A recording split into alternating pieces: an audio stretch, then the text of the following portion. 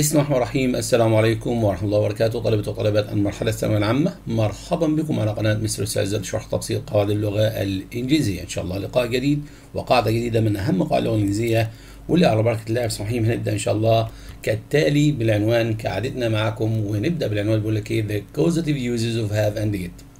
الاستخدامات السببية للفعلين have و get. العادي بتتع... بتتعامل مع الفعل have بمعنى يملك أو لديه أو عنده. والفعل جيت بمعنى يحصل على ويجي بمعنى يصل إلى ومعاني تاني أنت استخدمتها لي إن شاء الله النهاردة هناخد لهم حاجة جديدة اسمها الاستخدامات السببية. طيب يعني إيه يا مستر الكلمة دي؟ يعني إيه الاستخدامات السببية؟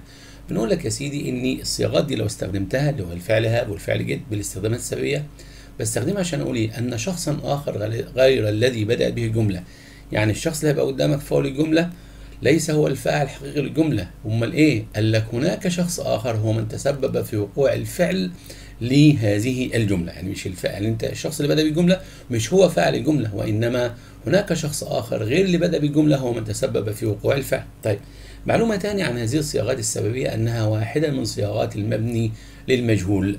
وتعال نشوف على بركة الله جملة ونشوف أزمنة على هذه إيه؟ على هذه الجملة هنقول إن إحنا هنتعامل مع causative have و causative get في مجموعة أزمنة وهنبدأها ب the present simple tense زمن المضارع البسيط. يعني لما يكون عندك جملة active بالشكل ده جملة عادية مش إحنا قلنا إن هي واحدة اللي هي ال causative uses ده مش إحنا قلنا عليها إن هي واحدة من صياغات المبني المجهول طيب تعال الأول نشوف شكل الجملة وهي في في شكلها الطبيعي اللي هو active وبعد كده لما نحولها إلى باسيف نشوف هتبقى إزاي. بيقول لك The barber cuts أحمد هير الحلاق يقوم بقص شعر أحمد. الجملة اللي قدامي دي جملة أكتف زمانها إيه؟ زمانها مضارع بسيط. الفعل بتاعها The barber فعلها cuts عندي فيه هنا هو بقى الحتة الزيادة اللي هي بتزيد عن قاعدة المبني للمعلومة العادية اللي بنحولها إلى مجهول. الحتة دي إن إحنا كده بقى عندي اتنين مفعول به مفعول به أول وبنقول عليه ان هو ليس هو المفعول الأساسي اللي هو أحمد والمفعول به الأصلي اللي هو hair اللي هو الشعر لأن الحلاق قام بقص مين؟ بقص إيه؟ شعر أحمد. يبقى اللي وقع عليه الفعل فعلا هو الشعر وأحمد ده هو صاحب صاحب هذا الشعر اللي تم قصه. فهنقول إن هو يعتبر زي ما بيقولوا مفعول ضمني يعني لكن المفعول الأصلي هو hair. طيب يا سيدي ماشي. لما نحب نصيغ الصياغة ده هي اللي هي الجملة دي اللي هي the barber cuts أحمد's hair. نخليها. هي كده active نخليها تاخد شكل ال passive مع ال causative have أو get نعمل إيه؟ بص يا سيدي الجملة زمانها إيه؟ زمانها مضارع بسيط. حلو خالص. يبقى أنت كده هناخد خطوات تحويل الجملة من active إلى passive في زمن مضارع بسيط. معروف إن أي جملة بتتحول من active إلى passive لازم تبدأ بالمفعول به في الجملة إيه؟ الجملة الأصلية. صح كده؟ طب الجملة اللي عندي دي أنا فيها اثنين مفعول إحنا قلنا عليهم. مفعول به غير حقيقي أو مفعول به غير مباشر يعني مش هو اللي وقع عليه الفعل مباشرة والمفعول وقع عليه اللي هو أحمد. والمفعول وقع عليه الفعل فعلا اللي هو الشعر. نعمل إيه؟ نبدأ بمين فيهم؟ نبدأ بأحمد اللي إحنا بنسميه first object يبقى شايف أنت أنا مديهم ترتيب اهو واحد وجنبها st وجنبها obj اللي هي اختصار كلمة object يبقى أنا بعتبر أحمد هو المفعول الأول. ماشي؟ اللي إحنا قلنا هو ليس مفعول مش هو المفعول الحقيقي اللي وقع عليه الفعل. لا ده في حاجة تاني غيره. وتجيب من عندك. مش الجملة دي زمانها مضارع؟ تمام. إحنا المفروض إن في المكان ده في الخطوة الثانية كنا بنحط مين هنا؟ بنحط verb to be وكان بيحافظ على زمان الجملة. طب ده الكلام ده لما كنا بنعمل على ال active وال passive العادي انت متعود عليه. لا ده إحنا دلوقتي عايزين مع مين؟ مع have أو get تحديدا. جميل. يبقى هتجيب من عندك يا إما has يا إما have طبعا حسب إيه؟ حسب المفعول الأول انت حطيته هنا. تمام. وبديلها بديلها مين يا عم؟ بديلها get أو gets تمام كده؟ لحد هنا حلو خالص. يبقى ادي المفعول الأول اللي هو المفعول الحقيقي دي خطوه ونجيب من عندنا إما has يا إما have أو get أو gets ودول كده الخطوة رقم اثنين مين الخطوة الثالثه مين object المفعول الأصلي. المفعول الأصلي اللي هو وقع فعلا عليه الفعل ثم بعد ذلك بيجيب التصريف الثالث الفعل الاساسي في الجمله لحد هنا جملتك ممكن تنتهي وتوقف بيها ونقول دي هي جملة ال causative have أو get أو have السببية أو get السببية. لحد هنا تمام؟ ماشي.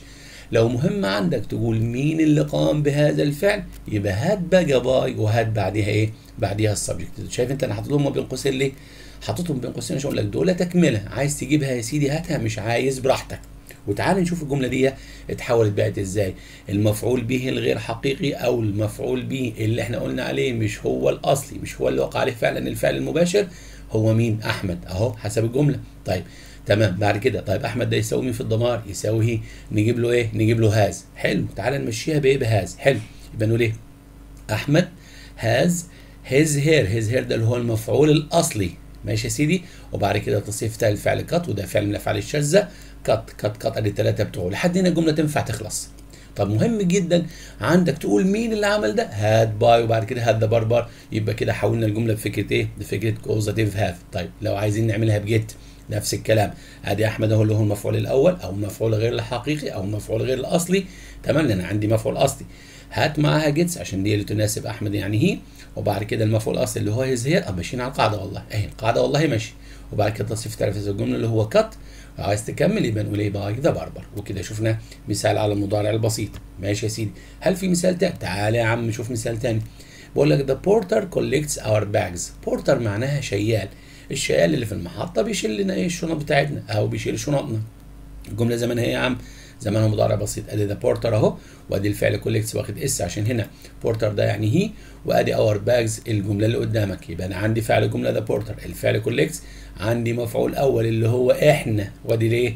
ال bags اللي هي الشنط. تعالى بقى نشوف هنحولها إزاي. ها نبدأ بالمفعول به الأول أو غير الحقيقي في الجملة اللي هو مين؟ we جبتها منين يا مستر؟ جبتها من our. مش دي هنا هو. الملكية.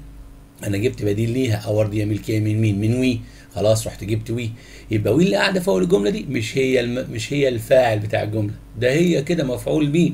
زي أحمد من شوية لما قلنا أحمد has his hair cut أحمد حصل على شعره مقصوص.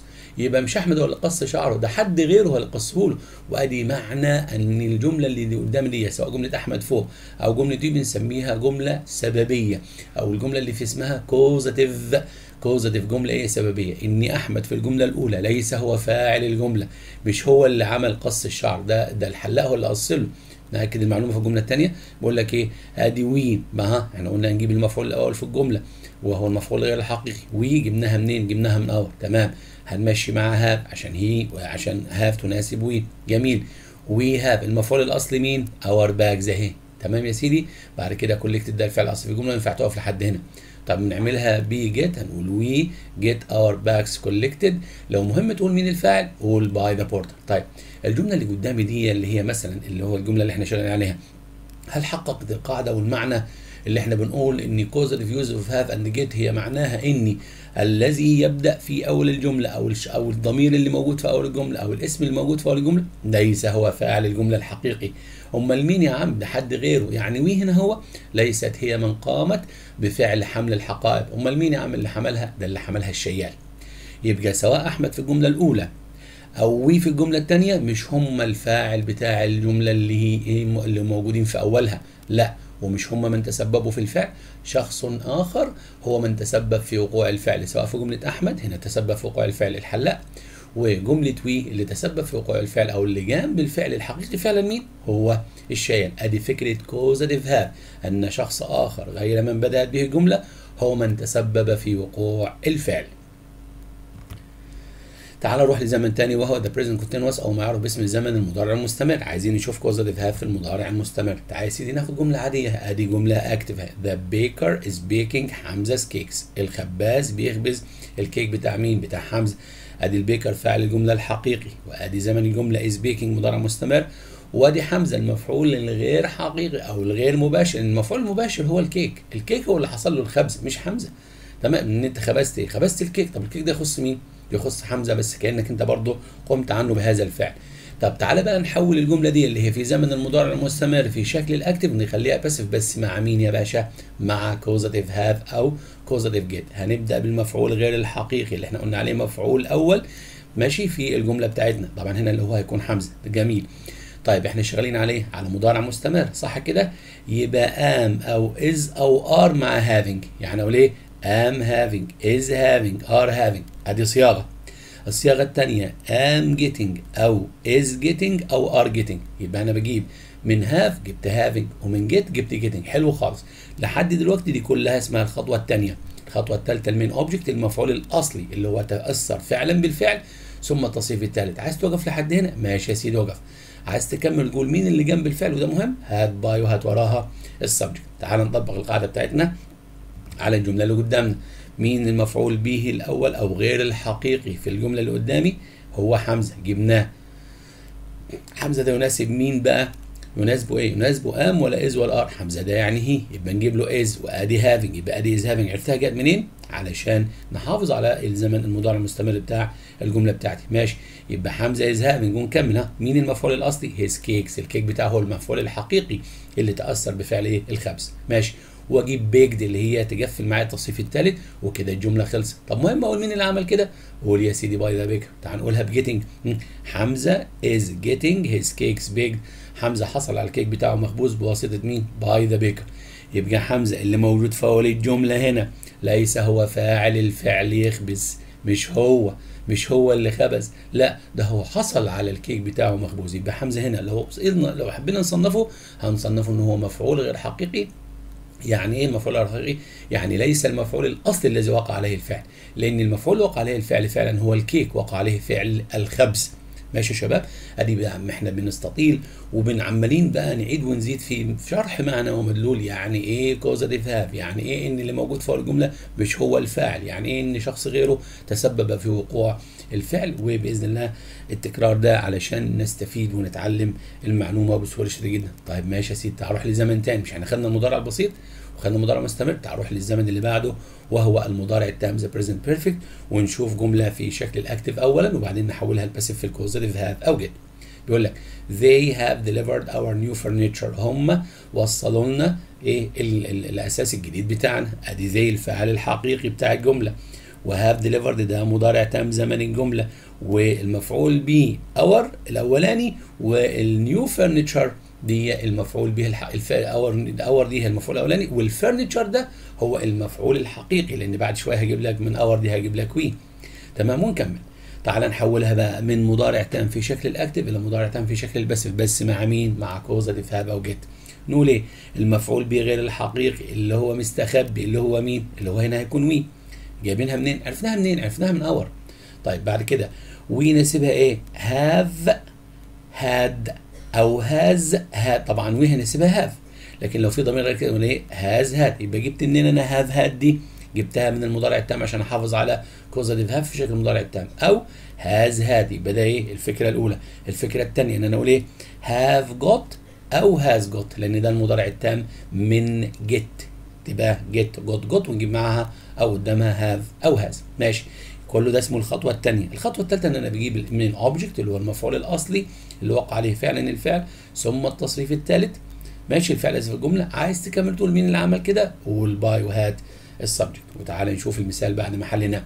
طيب مين المفعول الأولاني اللي هو المفعول غير الحقيقي في الجملة اللي قدامي اللي هي they have delivered our new furniture مش جبنا هنا هو ملكية تدل على we our صح كده؟ يبقى نجيب بنجيب مين؟ نجيب منها الضمير we طب we دي هنا هو تقع فاعل في الجملة الجديدة دي؟ لا. ده we هنا هو تعتبر مفعول به لأن حسب جملة ال passive اللي بيبدأ الجملة هنا هو مين؟ اللي بيبدأها هو المفعول به. لكن we ليست هي المفعول به الأول والأصلي في الجملة. المفعول الأصلي هو الأثاث. تمام؟ اللي هي كلمة furniture يعني. تمام؟ طيب. ها we عشان أحافظ على زمن المضارع ده we have had أهي. have had أهي. مضارع تام كده. كمل. our new furniture اللي هو المفعول به الحقيقي اللي هو ال furniture وبجيب التصريف الثالث زي الجملة اللي هو delivered كده كده هو جاي. تصريف ثالث لأن الجملة مضارع تام. وبعد كده لو مهم عندي أقول مين اللي عمل كده؟ أقول by. والضمير زي اللي كان في أول الجملة فاعل. لما يجي في آخرها يتحول لشكل them عشان يبقى واخد شكل مفعول. طب تعالى نعملها بايه؟ ب get نقول إيه؟ we have got أدي ده مضارع تام. المفعول به الأول. وبعد كده have got أهي. والمفعول به الحقيقي اللي هو our new furniture وأدي التصريف الثالث delivered ولو عايز تكمل تقول by. قول by. وهات بعدها them طيب. تعال نروح لأزمنة الماضي ونقول إيه the past simple ونبدأ بالماضي البسيط ونشوف شكل جملة في ال active بيقول لك إيه somebody painted Ahmed's room yesterday. شخص ما قام بطلاء غرفة أحمد بالأمس. somebody ده هو الفاعل الحقيقي للجملة. الجملة اللي قدامي دي أكتف وأدي painted الفعل بتاعها. وأحمد روم كده أنا عندي اثنين مفعول. أحمد يعتبر مفعول أول والروم هي المفعول الحقيقي. بس خلي بالك أنا بقول مفعول أول مع مش معناها إن هو المفعول الأصلي. لأ ده أنا بحب أرتبهم بس عشان أقول لك إن أحمد ده مفعول أول عندي مفعول ثاني بس المفعول الثاني هو الأهم لأن هو اللي تحق اللي تأثر بيه الفعل. ودي يستر دي للدلالة على إن الجملة اللي بتاعتي إيه ماضي بسيط. طب تعالى نعمل لها causative have بقى في الماضي. ابدأ بالمفعول به غير الحقيقي اللي هو first object اللي إحنا قلنا عليه مفعول غير حقيقي أو مفعول أول اللي هو هنا طبعا أحمد. وبعد كده بما إنك أنت عايز ماضي إيه الماضي من have had. طب إيه الماضي من get got لأنها ماضي بسيط خلاص. يبقى يا إما had بس يا إما got بس. ماشي يا سيدي. بعد كده المفعول الأصلي اللي هو هنا طبعا كلمة room حسب الجملة اللي قدامك ثم التصريف الثالث. painted فعل قياسي. بإضافة ال ed ليها اتحولت لايه لتصريف ثالث. طب مهم أقول مين اللي عمل كده؟ هات يا سيدي by وبعد كده هات ال subject. تعال نشوف كده الجملة لما اتحولت إلى ماضي بسيط في causative have أو get هتبقى أحمد. ماشي. had تنفع مع جميع الضمائر. بنقول أحمد had ها his room اللي هو المفعول به الاصلي مش هنقول main object مفعول اصل أهو. وادي painted التصريف الثالث في الجملة. وادي الزمن بتاعها اللي هو yesterday طب مهم أقول مين اللي عمل كده؟ قلنا by somebody. طب نقولها تاني مع got أحمد وأجيب معاها got ملهاش بديل لأني got تنفع مع جميع الضمائر. وادي his room المفعول الحقيقي أهو. الخطوة بتاعتنا أهي. ثم painted التصريف الثالث وادي زمن الجملة.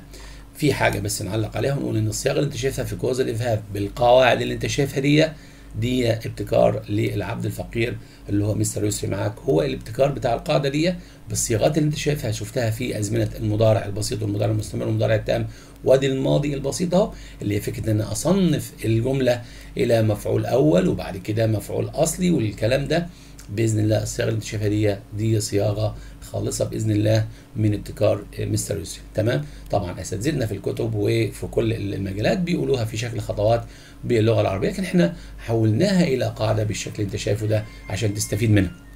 نأكد على معلومة هو أحمد هنا فعل الجملة دي اللي هي أحمد had his room painted لا. أحمد ليس هو من تسبب في وقوع فعل الدهان للغرفة. أمال مين؟ somebody. تمام كده؟ ماشي.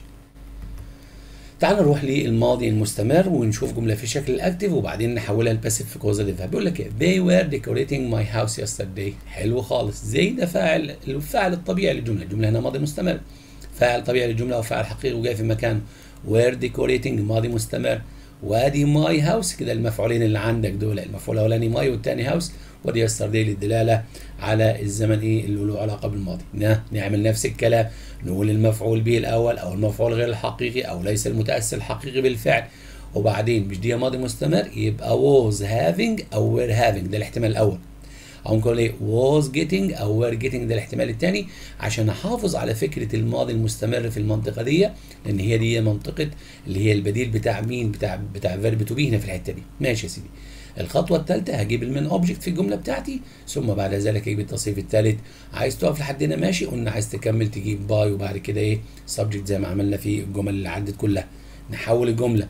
طيب مين المفعول به الأول أو غير الحقيقي في الجملة دي؟ my حولها إيه؟ حولها إلى I تمام. حلو خالص. جاية دي ملكية. جاية من مين؟ جاية من إيه؟ من I I هنا فوق الجمله فاعل؟ لا والله ما هي فاعل. أمال إيه يا عم؟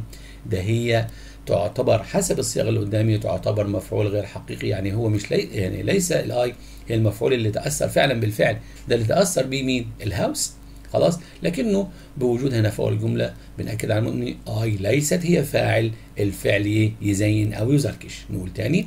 I was having جبتها منين دي؟ I يناسبها إيه؟ I؟ يناسبها was وأدي having هي عشان تبقى فيها استمرارية في الماضي. تمام.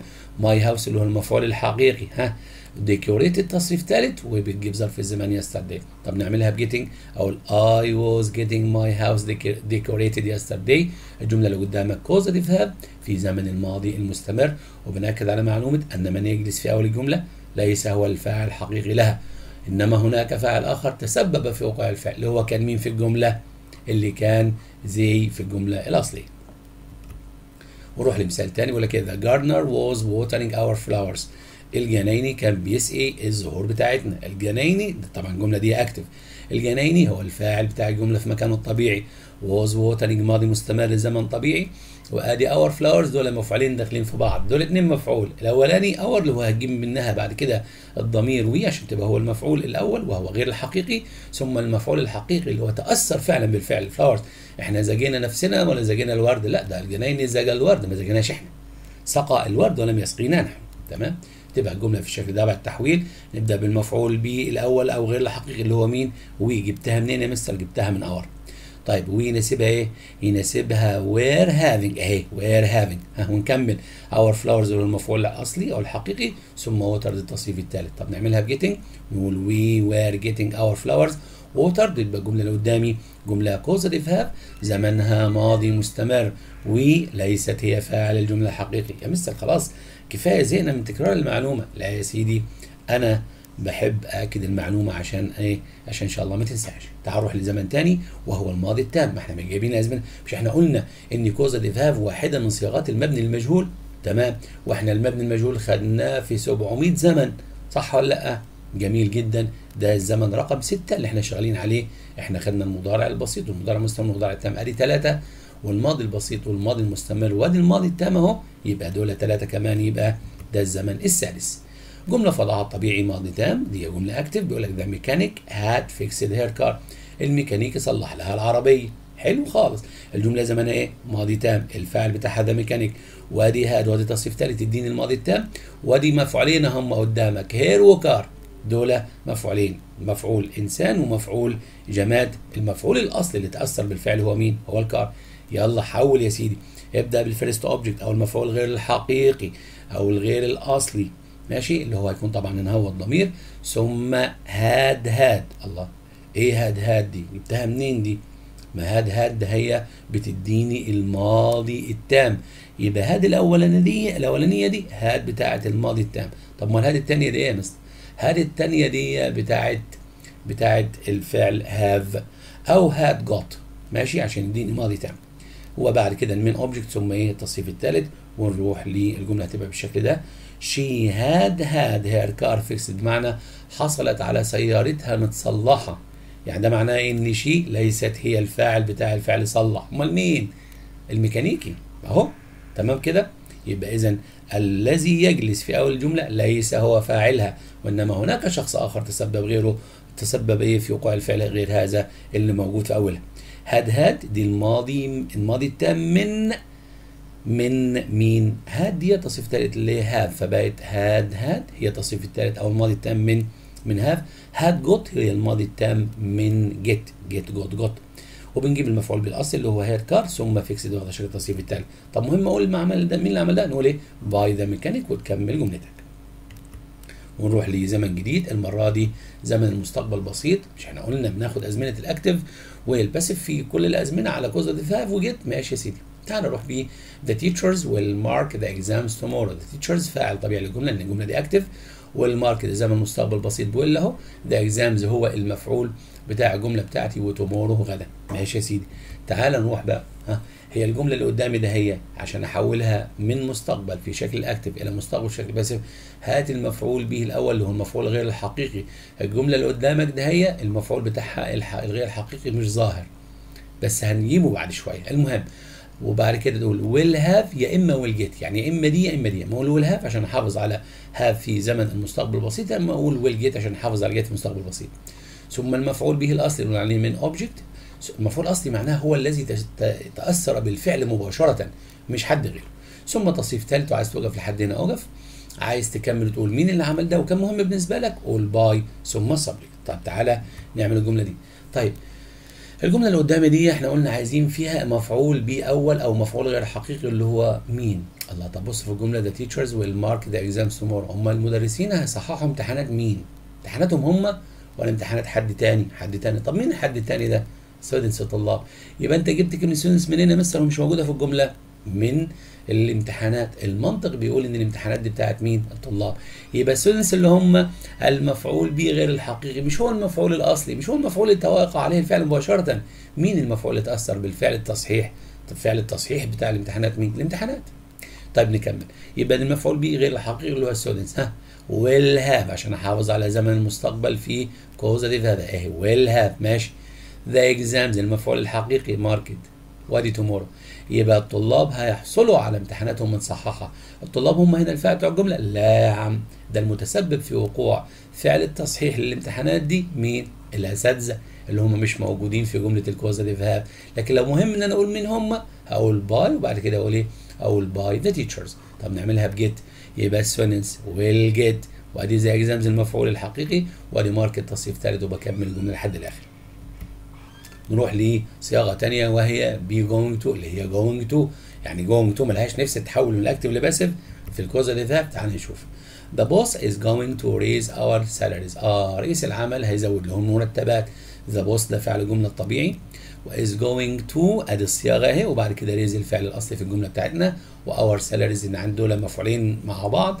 our دي اللي هنجيب منها بعد شوية we وال salaries اللي هي المرتبات هي المفعول الحقيقي لأن هي اللي هتزيد. المرتبات هي اللي هتزيد. مش الأشخاص هم اللي هيزيدوا. ده المرتب هو اللي هيزيد. طيب نجيب المفعول بالاول أو غير الحقيقي. يا مستر كل شوية تقول لنا غير حقيقي. أيوه لأن اللي هتجيبه هنا فوق الجملة. ليس هو من تأثر بالفعل. ده اللي تأثر بيه حد تاني في باقي الجملة. المهم المفعول بغير الحقيقي أو اللي سميناه مفعول أول وزي ما قلنا دي صياغة مبتكرة لي آه، لي أنا.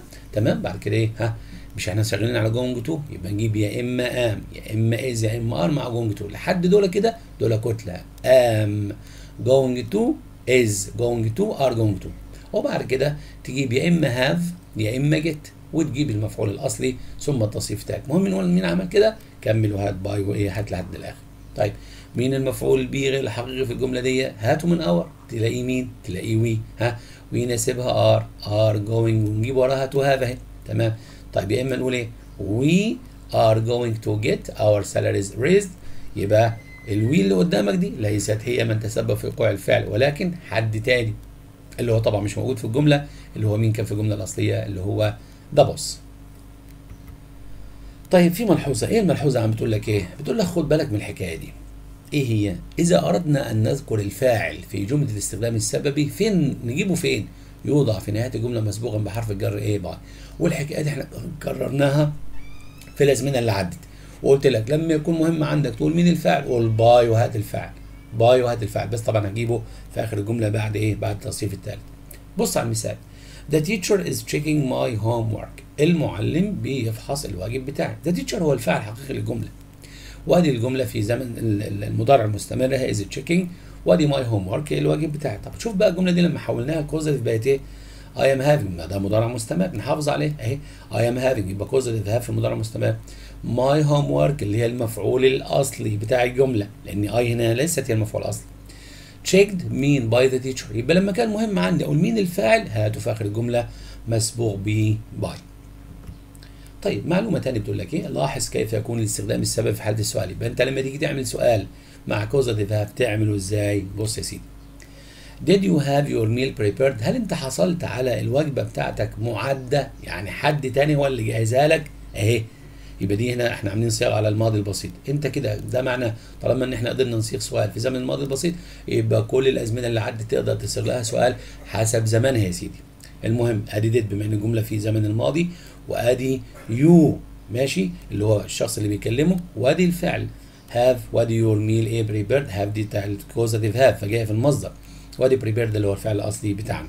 طيب راح قال لي إيه no I didn't have it prepared. لا يا عم أنا ما حصلتش عليها معدة. هنا طبعا جايبناها في ال causative have اهو I prepared it myself أنا جهزتها بنفسي. نروح لمعلومة ثانية يقول لك لاحظ كيف يكون استخدام السبب في حالة النفي يعني الجمله لما تكون في causative have أو causative get ننفيها ننفيها إزاي؟ بص يا سيدي. قال لك the assistant اللي هو اللي بيقولوا عليه المساعد won't deliver the papers. المساعد أو العامل المساعد مش هي مش هيجيب الأوراق. I'll do it by myself. آه أنا هعمل كده بنفسي. يبقى ادي ال assistant اهي وجبنا النفي للفعل المساعد. اهي won't deliver. ما هنا هو كانت الجمله زمانها مستقبل. فبدل ما كانت will deliver خليناها won't deliver the papers. I'll do it by myself. ماشي؟ طيب. الجملة دي في وضعها الطبيعي كده. الجملة دي active طب ما نخليها بقى passive اللي هي في ال causative اللي هتبقى إيه I will not get the papers delivered by my assistant. I'll do it by myself. يبقى الجملة اللي قدامي ده هي جملة في شكل ال active لسه ما بقتش causative have دي فاعل طبيعي زي assistant. ودي won't deliver ماشي وبكمل جملتي. نبدأ الجملة بالمفعول به في الجملة الأصلية وهو مفعول غير حقيقي اللي هو مين؟ اللي هو I الله جبتها منين؟ مش بقول لك إن ال assistant مش هيجيب الجرايد أنا اللي هجيبها؟ يبقى أنا كده عرفت من ده منين؟ ما هي ال I أهي. طيب ماشي. الجملة زمنها مستقبل بسيط منفي. هخليها في ال causative get مستقبل بسيط منفي برضه.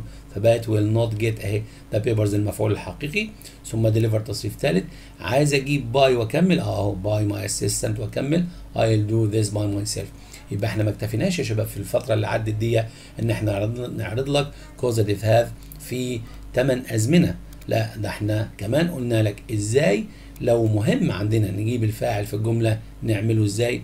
ولو عايزين نعملها في سؤال تكون إزاي وكمان لو عايزين ننفيها نقول إزاي وتعالى نروح لمعلومة جديدة. الجزء اللي عدى ده كله يا شباب كان بيتكلم في الفكرة رقم واحد التي تقوم عليها القاعدة اللي هي إيه؟ اللي هي حاجة اسمها causative uses of have and get. الاستخدامات السببيه لمين؟ ل have و get. الله أمال في حاجة يا مستر؟ آه في عنوان جديد هنتناوله دلوقتي إن شاء الله ومدينه لك رقم اتنين. إيه العنوان ده؟ بيقول لك إيه العنوان ده؟ فاعل مع have أو let أو make وراها مفعول وراها مصدر بدون to إيه الفكرة دي يا مستر؟ آه دي فكرة جديدة للاستخدام بتاع have و get ملهاش علاقة بموضوع السببية اللي إحنا كنا بنحكي فيها من شوية. أمال إيه دي يا مستر؟ قال لك نستخدم هذه الصياغة واخد بالك من رقم اتنين؟ الصياغة دي اللي هي فاعل مع have أو let أو make دول إخوات. ماشي؟ ثم مفعول به ثم مصدر بدون to. قال لك نستخدم هذه الصيغة. إمتى يا عمي. قال لي عندما نجعل شخص يفعل شيء ما لنا. يبقى كده كأن أنا عايز أجيب استخدام جديد ل have get إيه هو؟ إن أنا استخدمه عشان أقول إني فاعل جعل مفعول يقوم بفعل معين. تمام كده؟ الصياغة اللي أنت شايفها دي مهمة جدا تبقى عارف شكلها وصيغتها. ان الفاعل جعل المفعول يقوم بفعل. بس لما يكون عندك have أو let أو make تخلي المفعول اللي جاي ده بعده الفعل في المصدر بدون to. تعالى نشوف المثال. the boss had أو let أو made us شفت هنا بقى لما جبت أنا الفعل بتاعها do جبته في المصدر. يبقى دي the boss اللي هو الفاعل. اهي القاعدة بنطبقها أهو. طيب جبت معاها إيه؟ have الله. ده مثلا أنت جايب had. آه عشان جملة ماضي. عشان جملة إيه ماضي؟ طيب ادي let ها؟ طب وأدي made ماشي. المفعول بمين هنا؟ us شفت do؟ جبتها مصدر من غير to. some extra work today. معنى الجملة أن رئيس العمل جعلنا. هذه هو معناها جعلنا. let معناها دعنا. made معناها جعلنا. كده كأنه بيقول لك إيه؟ إيه معنى الجملة دي؟ كلمة هاد أو الفعل هاد والفعل let والفعل ميت معناهم أجبر فورسد كأنه أجبرهم إن هم يقوموا بعمل زيادة عن عمله. طيب. تعال نشوف مثال تاني. I let my children go out at night. أنا أدع أو أجعل أبنائي يذهبوا إيه للخارج في الليل. يبقى أدي الفاعل أهو. وأدي الفعل let. وأدي المفعول به اللي هو my children. وجبت الفعل في المصدر بدون to خد بالك من الصياغة تاني. لما أقول فاعل مع have أو let أو make وراهم مفعول به هات الفعل في المصدر بدون to طيب دي صياغة ونطبق عليها مجموعة من الأمثلة. مثال كمان يبقى قلنا مثال فوق ادي واحد وادي اثنين وادي المثال الثالث. Mothers make الأمهات بتجعل their children أبنائهم check their answers ان هم يفحصوا الإجابات اللي هم عاملينها بتاعت الواجب. Mothers ده فاعل وأدي الفعل make بمعنى جعل وأدي المفعول به اللي هو their children وأدي الفعل check في شكل المصدر بدون to طيب الكلام ده مستر كان على have واخواتها let و make الله. طب أمال فين get؟ get ليها صياغة لوحدها يا باشا. إيه الصياغة؟ لما يكون عندك بقى get وعايز تقول إن فاعل جعل شخص يفعل فعل بس مين هنا أنت هتجيب هتجيب get أو واحد من إخواتها. يبقى هتجيب الفعل أنت بتتكلم عنه. و get أو أختها allow أو permit أو force أو cause أي واحدة فيهم. يبقى الصياغات اللي قدامك دول الخمس افعال اللي قدامك دول اللي هم جيت واللاو وبرميت وفورس وكوز هم الكل أي واحد فيهم ينفع طبعا كلهم بديل لبعض هات وراهم المفعول ثم المصدر مسبوق ب to يبقى لما كنا بنجيب الصياغة ده هي فاعل جعل مفعول يفعل فعل مع make ومع have ومع let كنا بنجيب المصدر بدون to. لكن مع دول فاعل مع get أو allow أو permit أو force أو cause ثم المفعول به هات to عشان تقدر تجيب مصدر. تعال نشوف المثال. Please get حمزة to help you. معناها خلي حمزة يساعدك. هي ال get معناها إيه؟ معناها persuade اقنعه. ماشي؟ اقنع حمزة إن هو يساعدك. أدي please من فضلك. ماشي؟ وأدي get خلاص كده. حمزة to help you جميل جدا. يبقى أدي get أهي. وبعد كده المفعول به اللي هو حمزة عشان جبت في الفعل بعد كده أجيبه في شكل مصدر لازم أجيب له to. تعال نشوف مثال تاني. آه مثال يوضح الجملة أكتر. أدي فاعل اللي هو I وادي فعل من الجدول اهو allow من القاعدة. وادي my child اللي هو المفعول به. وادي to المصدر عشان أقدر أكمل to go out at night يبقى ادي الصياغة اللي قدامي واضحة جدا. مثال تاني employers force their employees to work hard. بمعنى أصحاب الأعمال بيجبروا الموظفين اللي عندهم أو العمال اللي عندهم إن هم يعملوا هو بجد. employers ده فاعل. استخدمت معاه الفعل force وادي ال employers اللي هم مفعول به عشان أجيب الفعل وراها كان لازم يكون to ثم هذا الفعل في المصدر وبكمل لحد الآخر. طيب في ملحوظة مهمة جدا بتقول لك إيه؟ لاحظ الفعل make الله ده make أنت مستر جايبه لنا من شوية أخ من إخوات have لأن have عندها أخ اسمه let وعندها أخ اسمه make طيب مالها دي؟ قال لك لاحظ الفعل make عند بناء المجهول يعني لما تيجي جملته مبني المجهول لأن إحنا قلنا الاستخدام رقم اتنين ده لقاعدة have و get ملهوش علاقة بالسببية. ملهوش علاقة بالسببية لا ده أنا بستخدمها عشان أقول إيه؟ أن شخص ما جعل شخص آخر يقوم بفعل. يبقى دي حاجة تاني خالص. تمام. لاحظ بناء الفعل make للمجهول. يحصل له إيه؟ هات وراه to ثم مصدر. يعني إيه؟ نشوف المثال. بيقول لك children are made to check their answers. الأطفال بيتم جعلهم ان هم إيه يفحصوا الواجب بتاعهم اللي هي الجملة بتاعت mothers دي. شايفها؟ mothers make the children check their answers شوف الجملة دي أنا لما حولت make ماشي من جملة الجملة اللي قدامي دي جملة عادية طبيعية. أنا خليتها مبنية للمجهول بدل ما هي active هنا خليتها passive عملت إيه؟ جبت المفعول به ماشي اللي هو children. خلاص؟ طيب ماشي. الجملة اللي قدامي هنا زمانها مضارع بسيط. عشان مضارع بسيط حولها بقى في ال passive يبقى نجيب verb to be فيما يناسب المضارع البسيط يا إما am يا إما is يا إما are are هي اللي تناسب children. وبعد كده make تجيب الصفه الثالثه تبقى made علشان تجيب بقى الفعل في المصدر لازم يكون فيه to هنا لما كانت الجملة عادية في وضعها ال active ما كانش فيه to كنا بنقول إيه؟ mothers make the children check على طول. لكن دي إيه؟ children are made to check. وادي their answer وبتنتهي الجملة لحد الشكل قدامك يبقى بنأكد على معلومة إن verb make الفعل make. عشان أخلي جملته مبنية المجهول ولازم أجيب بعدها to ثم مصدر. بكده يا شباب تكون انتهت قاعدة causative uses of have and get وده كان أول جزء من القاعدة الاستخدامات السببية ل have و get والجزء الثاني من القاعدة كنا بنتكلم فيه عن فكرة تانية هي فكرة إزاي نخلي have أو get نحطهم في جملة نقول فيها أن فاعل جعل مفعول يقوم بفعل ما. لما كنا بنتكلم عن have و let و make كنا بنجيب الفعل بعد المفعول في شكل المصدر بدون to لكن لما جبناه مع جيت أو حد من إخواتها allow أو permit أو force أو cause كنا بنجيب المفعول ثم تو ثم المصدر. نتمنى إن شاء الله إن نكون يعني وفينا هذه القاعدة حقها. انتظرنا إن شاء الله في فيديو رائع عاملين لك فيه مجموعة كبيرة جدا من الجمل اللي بتطبق هذه القاعدة كتدريب عليها وإن شاء الله انتظرنا في مزيد من الجمل. لشرح في مزيد من الجمل ومزيد من الفيديوهات لشرح وتحليل وتبسيط وكيفية الإجابة عن إن شاء الله كل القواعد اللي هتقابلك في المنهج بتاعك طوال مرحلة الثانوية العامة. إن شاء الله انتظرنا في المزيد مع معلم خبير اللغة الإنجليزية مستر يوسف عزت. السلام عليكم ورحمة الله وبركاته.